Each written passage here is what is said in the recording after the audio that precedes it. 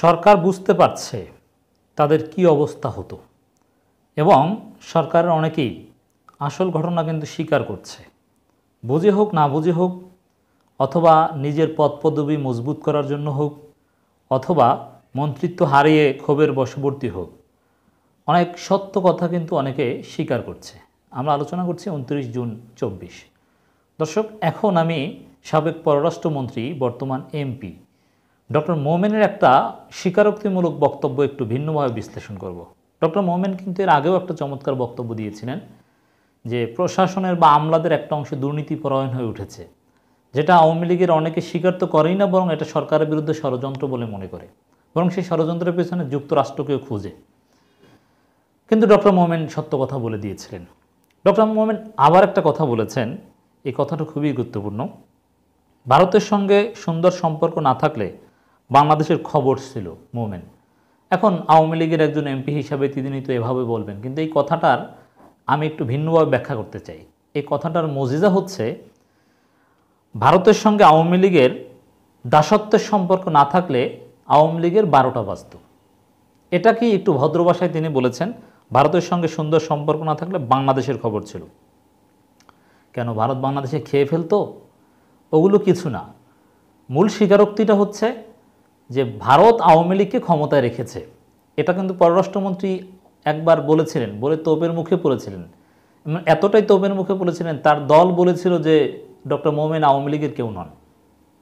যে তিনি ভারতকে বলে দিয়েছেন যে যেন শেখ হাসিনাকে দেখে, আবার যেন ক্ষমতায় রাখে।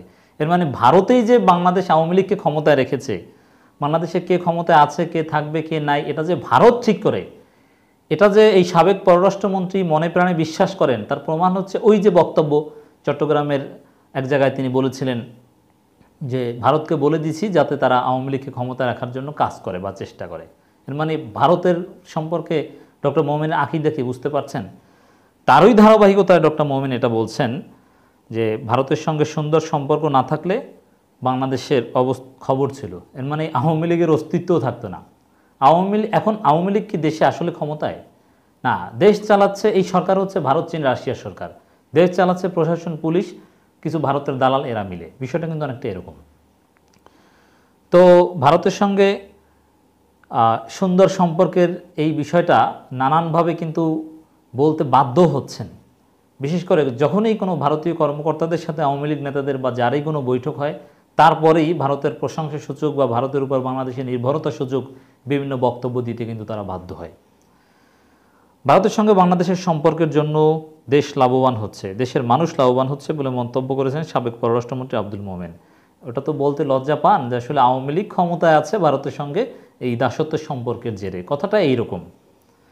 আমি ব্যাখ্যা করতে চাই এভাবে, এবং আপনার এই ব্যাখ্যার সাথে একমত কিনা মন্তব্য করে জানাবেন। মোমেন বলেন, প্রতিবেশীদের সঙ্গে বন্ধুত্ব না থাকলে টেকসই উন্নয়ন ধরে রাখা যায় না। হ্যাঁ বন্ধুত্ব অবশ্যই রাখার চেষ্টা করতে হবে। কিন্তু সেই বন্ধুত্ব কি দাসত্বের বন্ধুত্ব, স্বামী স্ত্রীর সম্পর্ক, না বন্ধুত্বের সম্পর্ক? এখন স্বামী স্ত্রী থেকে বন্ধুত্বের কথা কেন বলছেন? আপনিই তো স্বামী স্ত্রী তত্ত্বের প্রবক্তা।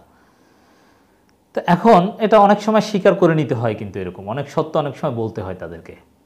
তো দর্শক, তো এখানে প্রতিবেশীর সঙ্গে সুসম্পর্ক না থাকলে টেকসই উন্নয়ন ধরে রাখা যায় না। এই কথাটা সব- সব ক্ষেত্রে ঠিক নয়। যদিও আমরা সুসম্পর্ক চাই। যেমন ভারত এবং চীনের মধ্যে কি সুসম্পর্ক আছে? কিন্তু কই, চীন কি উন্নয়ন হচ্ছে না? চীন তো সারা পৃথিবীর জন্য অনেক ক্ষেত্রে রোল মডেল ভারতের সম্পর্ক তাদের সাথে তো সাপ এবং বেজির মতো সম্পর্ক। এর মানে প্রতিবেশীর সাথে ভালো সম্পর্ক নয়। পৃথিবীর অনেক উন্নত দেশ বর্ডার কনফ্লিক্ট ছিল বা এখনও আছে। যদি উন্নত দেশে এখন বর্ডার কনফ্লিক্ট থাকে না। আর ভারত যেভাবে বাংলাদেশি মানুষকে সীমান্ত হত্যা করে, এটা পৃথিবীতে ইউনিক এরকম পৃথিবীর কোথাও নেই। যাই হোক প্রতিবেশীর সাথে খারাপ সম্পর্ক রেখেও অনেক মারাত্মক উন্নতির এক্সাম্পল আছে। যেমন, সাউথ কোরিয়া এবং নর্থ কোরিয়া। সম্পর্ক কি ভালো? কিন্তু কই, নর্থ সাউথ কোরিয়া কি টেকসই উন্নয়ন হয়নি? সাউথ কোরিয়া তো সারা পৃথিবীর জন্য role model how is it possible অতএব এই সাবেক পররাষ্ট্রমন্ত্রীর বক্তব্য, ডক্টর মোমেনের বক্তব্য, এটা ভুয়া। আসলে তিনি এই টেকসই উন্নয়ন, অমুক তমুক, এগুলো কিছু বোঝাননি। তিনি জানেন যে এটা ভুয়া কথা। বরং আপনার যদি কোমর সোজা থাকে, মেরুদণ্ড সোজা থাকে আপনার পেছনে পেছনে অনেকে ঘুরবে। প্রতিবেশী আপনাকে মূল্যায়ন করবে, আপনার সাথে ট্রেড ডেফিসিট আরও কমাবে। বরং নতজানু নীতির চাইতে মেরুদণ্ড সোজা করে নীতি অবলম্বন করতে পারলে আপনাকে বেশি মূল্যায়ন করবে, আপনি ব্যবসা বাণিজ্য থেকে লাভবান হবেন। দাসত্ব ভৃত্তের সম্পর্ক দরকার হবে না। এটাই হচ্ছে বাস্তব কথা।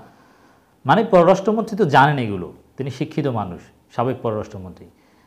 ডক্টর মোমেনের কথা বলছি। কিন্তু তারপর এইসব কথাবার্তা কেন বলছেন? মানে এটা দ্বারা বোঝাচ্ছেন যে আওয়ামী লীগের খবর ছিল। ভারত আওয়ামী লীগকে ক্ষমতায় রাখছে, এই বার্তাটা তিনি আসলে কোনো না কোনোভাবে এক্সপ্রেস করেছেন। আর তিনি মন্ত্রিত্ব হারিয়ে ক্ষোভের বশবর্তী অনেক সত্য কথা বলেন। এটা আমরা অনেক ক্ষেত্রে দেখেছি। যে স্বাভাবিক মন্ত্রী থাকা অবস্থায়, যেমন ওবায়দুল কাদের বড় এক্সাম্পল যখন মন্ত্রী ছিলেন না দুই হাজার নয় সাল, দশ সালে, তখন অনেক ভালো ভালো কথা বলতেন। বিরোধী দলীয় লোকজন তাকে পছন্দ করত। যেমন এই ব্যারিস্টার সুমনকে অনেকে একটু পছন্দ করে না বিরোধী দলেরও, যে না সরকার আওয়ামী লীগের লোক হলেও কিছু সঠিক কথা তো বলেন, যদিও এ টু জেড বাটপার আমরা মনে করি। কিন্তু তারপর অনেকে মনে করেন যে ভালো কথা বলেন। কিন্তু ওবায়দুল কাদেরও কিন্তু সেরকমই ছিলেন। অনেক ভালো ভালো কথা বলতেন। বুঝতে পেরেছেন আশা করি। কিন্তু মন্ত্রিত্ব পেয়ে আওয়ামী লীগের সাধারণ সম্পাদক পদ পেয়ে ওবায়দুল কাদের আর নেই। সুরঞ্জিত সেনগুপ্ত সেম অনেক ভালো ভালো কথা বলতেন। কিন্তু মন্ত্রিত্ব পাওয়ার পরে সুরঞ্জিত সেনগুপ্ত হারিয়ে হারিয়ে গেছে। এরকম মন্ত্রিত্ব থেকে বঞ্চিত হলে অনেকে অনেক সত্য কথা বলে। যেমন হাসানুল্লাহ ইনু। তিনি মন্ত্রী থাকা অবস্থায় কত বড় বাটপার ছিলেন, কত বড় প্রতিহিংসা পরণ ছিল। বিএনপি জামাতকে গালাগালি করা, ডক্টর হাসান মাহমুদকে এখন বলা হয় যে বিএনপিকে গালাগালি বিষয়ক মন্ত্রী। কিন্তু তখনকার সময় বিএনপি জামাতকে গালাগালি বিষয়ক মন্ত্রণালয়ের দায়িত্ব ছিল ডক্টর হাসান মাহমুদ হাসানুলক ইনু, জনাব হাসানুলক ইনু। কিন্তু মন্ত্রিত্ব চলে যাওয়ার পর এখন বিএনপিকে তেমন গালাগালি করেন না, আর সরকারের বিভিন্ন দুর্নীতি, ব্যর্থতা নিয়ে মাঝে মাঝে কিছু সত্য কথা বলেন। তো এটা একটা বাংলাদেশের হেকমত যে মন্ত্রিত্ব চলে গেলে অনেকে সত্য কথা বলেন। তিনি বলেন, অনেককে ভারতের সঙ্গে সম্পর্ক নিয়ে প্রশ্ন তোলেন, তবে বাস্তবতা হলো ভারতের সঙ্গে কানেক্টিভিটি আওয়ামী লীগের অর্জন, এ সম্পর্কের জন্য বাংলাদেশ লাভবান হচ্ছে। আচ্ছা ভারতের সঙ্গে সম্পর্ক নিয়ে কেউ প্রশ্ন তোলে না। প্রশ্ন তোলে ভারতের সঙ্গে স্বামী স্ত্রীর সম্পর্ক নিয়ে, ভারতের সাথে দাস প্রভুর সম্পর্ক নিয়ে, একপাক্ষিক সম্পর্ক নিয়ে রেসিপ্রোসিটি না থাকা নিয়ে, ভারতের সঙ্গে সম্পর্ক নিয়ে কে প্রশ্ন তুলেছে, কে আপত্তি করেছে, কেউ আপত্তি করেনি, এটা ভুয়া কথা। সবাই, জামাত ইসলামী বিএনপি সবাই ভারতের সঙ্গে সম্পর্ক চায়, সম্পর্ক ডেভেলপ করতে চায়। অতএব সাবেক পররাষ্ট্রমন্ত্রীর এই কথা মিথ্যা কথা।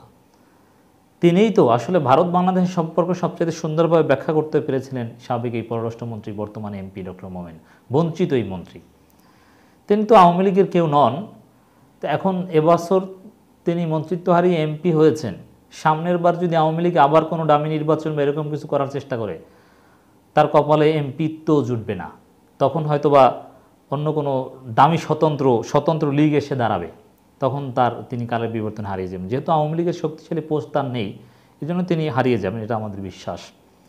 আব্দুল মোমেন বলেন, প্রতিবেশীদের সঙ্গে বন্ধুত্ব না থাকলে টেকসই উন্নয়ন ধরে রাখা যায় এটা তো বললাম, যেটা ভুয়ো কথা। বন্ধুত্বের সম্পর্ক, শত্রুতার সম্পর্ক থাকলেও টেকসই উন্নয়ন ধরে রাখা যায়। সাউথ কোরিয়ার এক্সাম্পল চীন এক্সাম্পল ভারতের সঙ্গে সুন্দর সম্পর্ক না থাকলে বাংলাদেশে খবর ছিল। এ অঞ্চলে বাংলাদেশে প্রক্সি যুদ্ধ চায় না। ভারতের সঙ্গে সুন্দর সম্পর্ক না থাকলেও কিছু হতো না, যদি বাংলাদেশে মেরুদণ্ড থাকতো।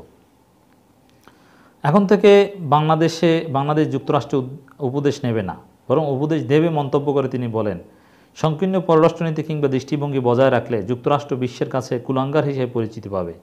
প্রধানমন্ত্রী কোনো চাপের কাছে মাথা নত করেনি, লেজুর ভিত্তি করেনি, ভবিষ্যতও করবে না।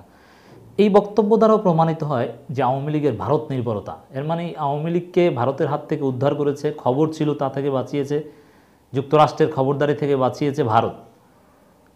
ডক্টর মোমিনের এই বক্তব্য কিন্তু এটাও সুন্দরভাবে প্রমাণিত হলো।